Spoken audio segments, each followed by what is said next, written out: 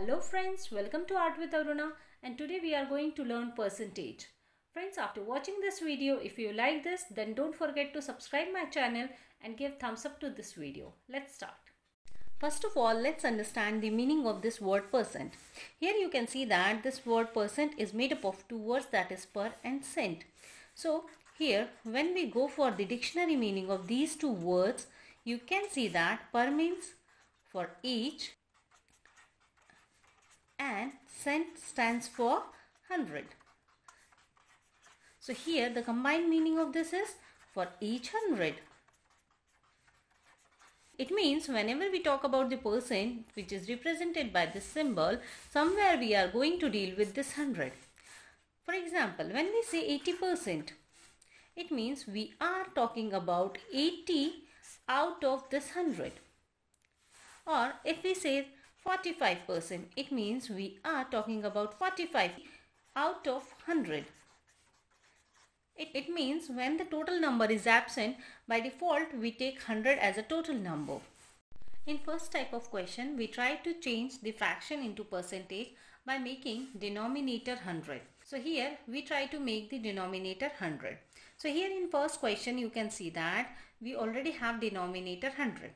So here it is very easy, very simple to convert this fraction into percentage. Simply what we need to do here, we can write the numerator that is 25 with percentage sign. Here you can say that when this percentage sign appears, this 1 by 100 disappears.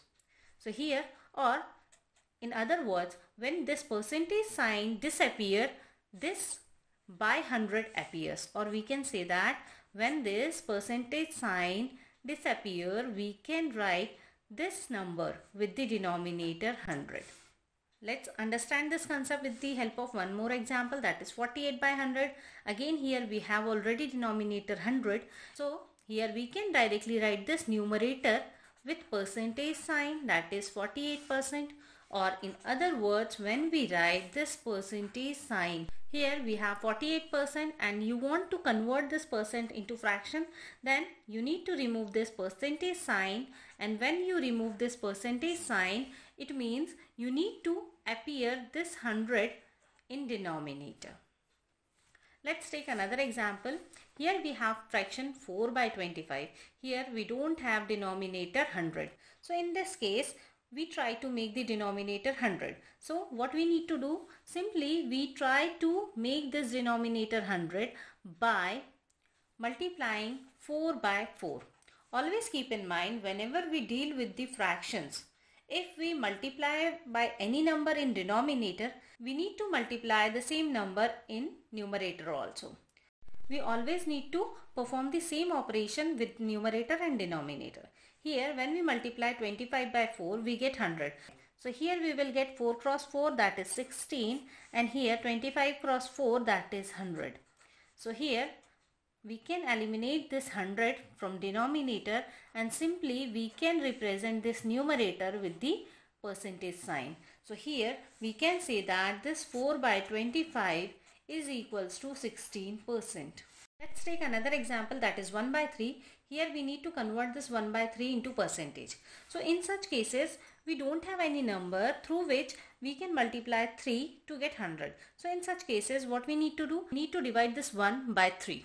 So here when we divide 1 by 3 here we have one digit in dividend and one digit in divisor. So when we check the table of 3 there is no 1 and the number less than 1 in table of 3 is 0.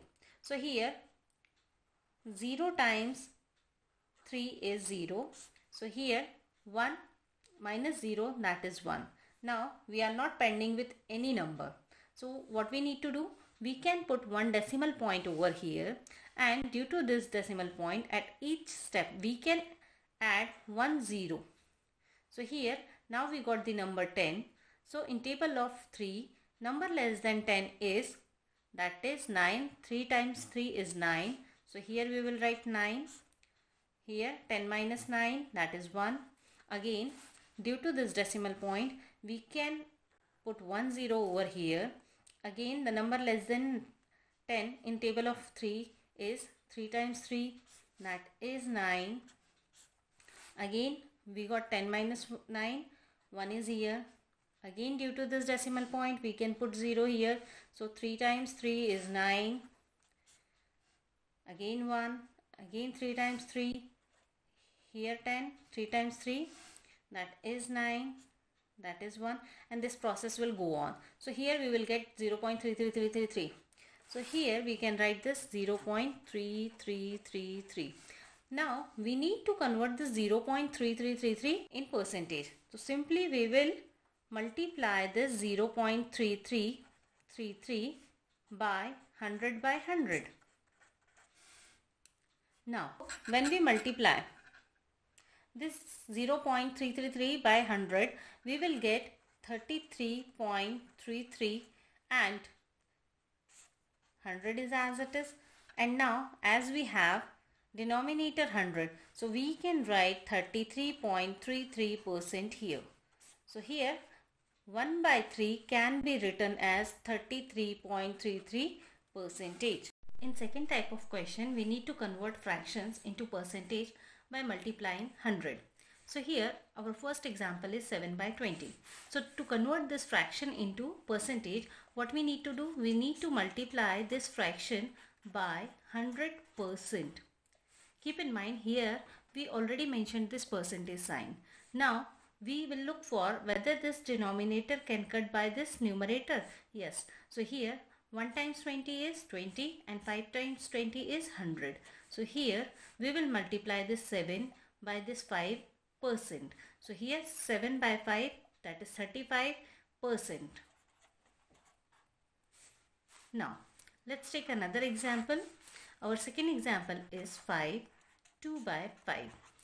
It's a mixed fraction and first of all we need to convert this mixed fraction into normal fraction. So here 5 cross 5 25 and 25 plus 2 that is 27 by 5.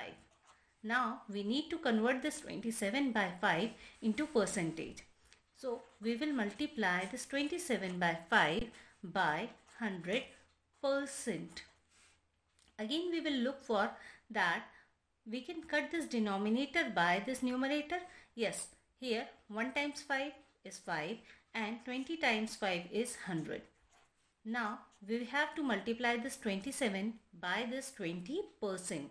So here we will get 540 percent. Now let's take one more example that is 3 by 8. Now we need to convert this fraction 3 by 8 into percent. So again we will multiply this 3 by 8 by 100 percent. Now we need to find a number through which we can cut 8 and 100 both. So here we can cut this number by 2. So 4 times 2 is 8 and 50 times 2 is 100. Again we can cut the numbers 4 and 50 by 2. So 2 times 2 is 4 and 25 times 2 is 50. Now it is not possible to cut this numerator or this numerator by this 2. So we will multiply this 3 with this 25 percent. So here we will get 75 by 2 percent as we got this result and it is still in fraction form.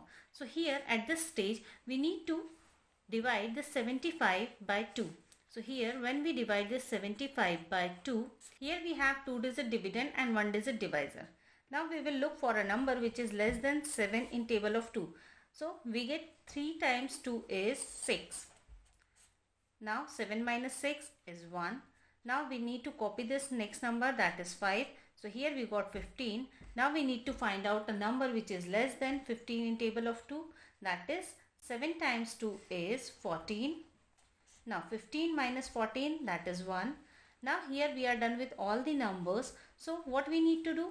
We need to put a decimal point here in quotient and due to this decimal point we are allowed to put 1 0 here.